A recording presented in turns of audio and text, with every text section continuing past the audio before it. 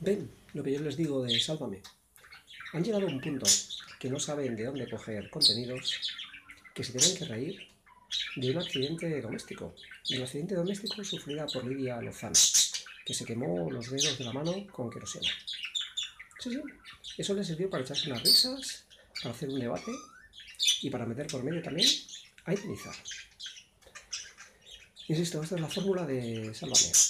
Cada día menos contenidos y encima riéndose de desgracias personales. Mal va la cosa. Muy mal va, Basilio.